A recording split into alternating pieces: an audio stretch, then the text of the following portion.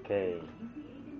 Nah eh, ini bagian yang sebelahnya lagi di bawah ini ada handlean nanti untuk uh, nyabut ke mesin utama.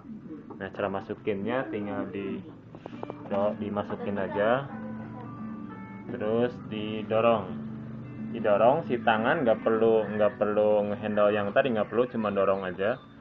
Dorong terus ini masukin terus tahan didorong aja sampai bunyi klek.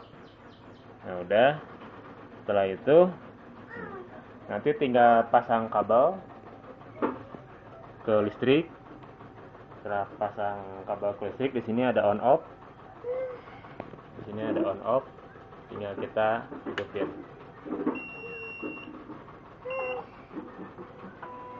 nah kita hidupin dia ada yang bergerak biarkan dulu.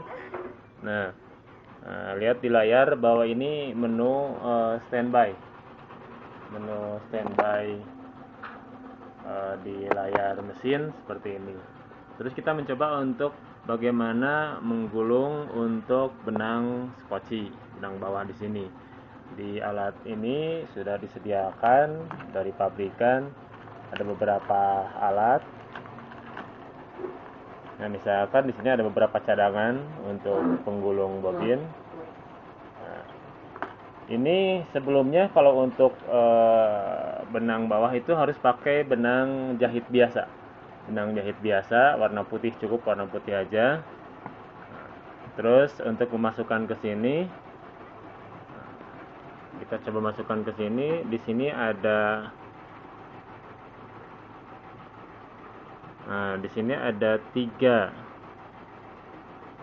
Sebetulnya di sini ada tiga lubang nanti di, diperhatikan aja. Eh, maksudnya ada bukan tiga lubang ya, ada dua lubang dengan satu yang kotak. Nah satu yang kotak ini untuk uh, masuk menjepit ke masuk menjepit ke sini. Ini kan ada per ya kan? Ini ada ini ada per nah, jadi masukin aja. Berdasarkan tadi yang kotaknya harus masuk ke dalam per yang kotak kecil. Kotak kecil ini harus masuk ke per. Masukkan bawahkan sampai bunyi klak juga. Nah, setelah itu baru kita pasang benang untuk biar biar bisa menggulung sini. Ini kita taruh aja di belakang. Ini taruh di belakang. Terus kita karena ini tidak muat ke sini tidak muat ke mesin jadi kita taruh aja di belakang. Nah, setelah itu pertama masukkan ke sini. Pertama masukkan ke sini masukkan. Udah masuk jadi tinggal didorong aja masuk terus masuk ke sini. Nah kalau untuk menggulung ke benang bobin bawah ya, ya kalau untuk menggulung ke e, benang ke sini maka ini perlu ke sini dulu caranya ditarik ke sini terus ke kolong ini kolong besi udah ke kolong terus ke sana ditarik dan diputer puter ke sini. Nah setelah diputer ini benang ini kita tahan dulu sama tangan ya. Tahan dulu sama tangan. Nah sedikit sedikit panjang boleh dilepas dulu dan silakan digulung ataupun dililit ke bagian skocinya dililit nah kalau terlalu panjang di sini kita masukkan ke sela-sela yang ini yang sedikit kayak pisau. Nah masukkan ke situ terus ditarik. Maka ketika ditarik ini akan putus. Sebetulnya tidak tidak putus juga nggak apa-apa. Ya misalkan ini nggak putus karena misalkan ini sebetulnya ada pisau namun apabila tidak sulit apa sulit untuk motongnya digunting aja. Nah setelah ini udah siap tangan kita nah pegang yang benang untuk ke terus di ininya yang bobin ini tarik ke sana.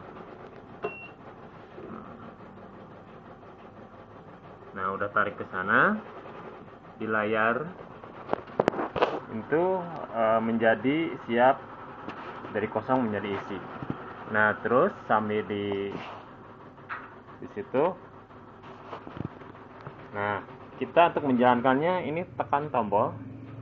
Sambil benang yang tadi ditahan ya. Sampai benang dipegang. Dipegang. Benangnya dipegang. Terus jalankan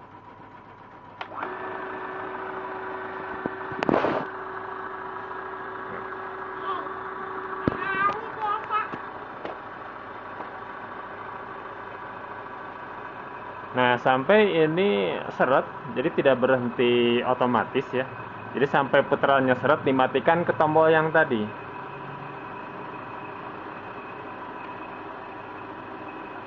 Tapi jangan sampai meluber melebih ya. Nah, ini udah seret matikan lagi ke sini. Jadi kalau udah seret langsung matikan lagi ke sini. Udah itu langsung aja digunting. Ya, digunting. Setelah itu ininya balikin lagi ke sini. Ya, balikin nah udah dibalikin ini bisa dicabut. Nah ini cara ngisi. Terus ini benang udah nggak kepake cabut lagi. Ini balikin lagi. Sini terus cabut. Nah, biarkan. Nah terus sekarang masukin ke tempatnya. Nah ini memang udah ada udah isi. Namun cara memasukkannya apabila nanti kosong ini di tarik sama kuku sehingga dia ke atas terus dilepas. Ini kalau misalkan tangan kita sulit ngambil ini itu ada penjepit di alat di alatnya itu ada penjepit. Misalkan ketika kesulitan jepit aja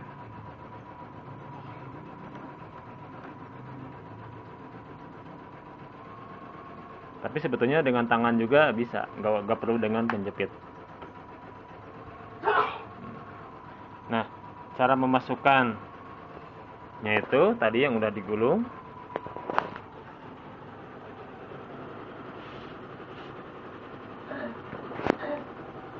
Posisinya lihat ke sini. Nah ini posisinya itu benangnya itu bukan begini tapi harus begini harus kebalikan. Sesuai dengan gambar. Jadi posisi di sebelah uh, kiri bukan di sebelah kanan ya. Jadi sebelah kiri. Nah setelah itu baru kita masukin sambil ditahan benangnya masukin setelah masukin terus lihat harus masuk dulu ke sini ke bawah. Nah setelah masuk terus ditarik ke sini terus ke sini Nah, ini tarik sambil ditarik sedikit sambil sedikit berputar. Nah, di sini ini pisau, di ujung ini pisau ditarik aja, maka dia putus. Terus masukin lagi penutup yang beningnya. Ini dulu, yang kecilnya dulu, terus langsung ditekan. Nah, itu. Nah, terus sekarang kita siap jalan.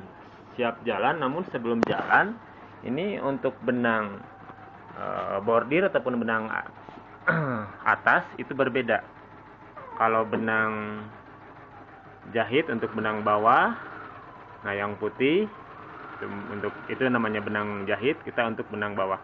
Sedangkan yang mengkilat ini ini benang bordir yang warna ungu kebetulan warna ungu. Sebetulnya kan warna-warni.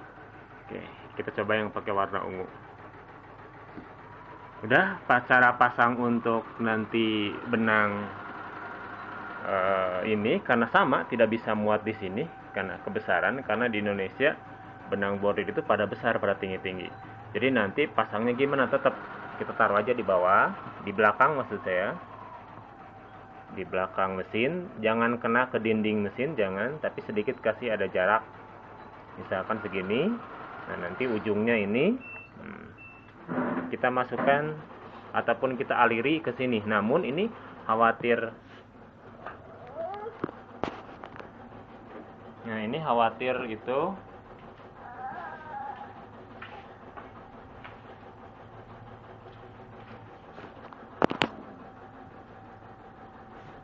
nah ini nanti kita kan benang itu khawatir masuk ke sela-sela bawah. Jadi yang tadi dipakai untuk menggulung skoci uh, kita nah kita uh, halangin dulu. Ya kita buatin aja kertas. Kertas biasa kertas tipis. Bekas lah gitu kan. Kertas bekas kita masukkan. Kita bikin dua. Kita bikin dua. Ini masukkan. Nah sehingga benang ini nanti di atasnya terus ditutup lagi. Nah kenapa ditutup lagi karena nanti benang bordir biar nggak loncat ke atas. Gitu. Nah terus nanti gimana kalau mau mau masukin apa perlu dicabut kertasnya? Nggak perlu sebetulnya. Nanti ketika mau masukin e, caranya begini saja. Benang bentangin terus masukin ke sela-sela di antara kedua kertas setelah itu langsung gini jadi si kertas nggak perlu dicopot biarkan aja gitu. Nah udah di situ terus kita tarik ke sini. Pertama masukin ke sini ke besi. Kita masukin ke sini. Terus nah masukin ke situ. Nah ini langsung ke bawah. Lihat angka di sini langsung ke bawah. Nah langsung ke bawah.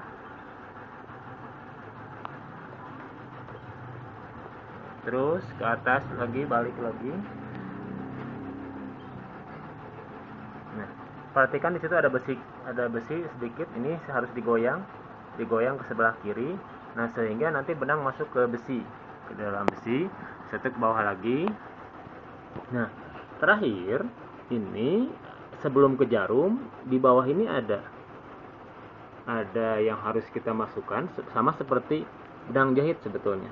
Nah di sini kita harus terselip ke sini benang itu harus masuk ke sini. Nah, jadi ini cara masukinnya benang harus begini dulu.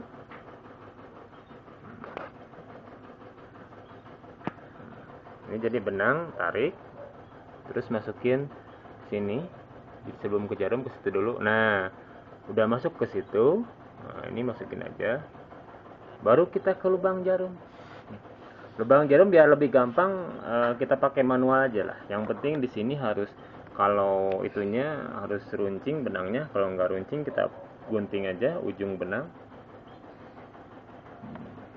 Setelah itu baru masukkan ke lubang jarum masukkan dari depan.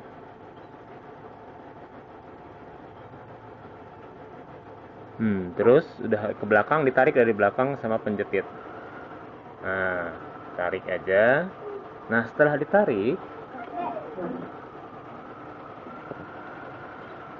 setelah masuk baru kita masukin lagi ke lubang besar bawahnya. Lubang besar bawah masukin jadi setelah masuk ke lubang jarum kita masukin ke lubang bawah. Nah ini udah siap. Ini tinggal taruh aja ke belakang. Nah gitu. Sehingga ini udah siap. Gitu. Dengan uh, pemasangan benang seperti tadi. Ini cukup dulu nanti kita lanjut